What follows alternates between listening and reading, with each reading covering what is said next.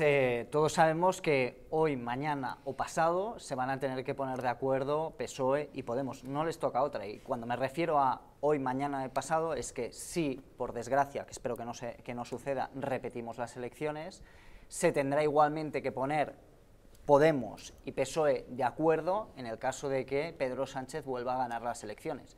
Por lo tanto, eh, va a ser un acuerdo forzado entre ellos, aunque se lleven mal, aunque no se aguanten, aunque no se soporten, aunque no se fíen el uno del otro.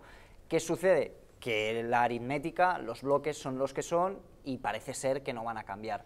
Eh, creo que Pedro Sánchez en este caso está jugando eh, para forzar la posibilidad de gobernar en solitario, que es lo que quiere, porque sabe perfectamente que gobernar con Pablo Iglesias dentro del Consejo de Ministros, pues lo que le sucederá es que será muy complicado para él poder gobernar y tener otras aritméticas posibles dentro de lo que sería el Parlamento del Congreso de los Diputados y por lo tanto lo quiere fuera por esa razón.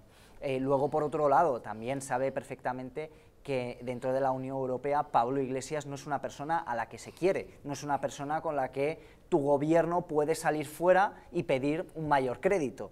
Como todos sabemos, eh, Pablo Iglesias resta, por eso está intentando hacer que eh, Podemos simplemente se quede fuera de observador y nada más.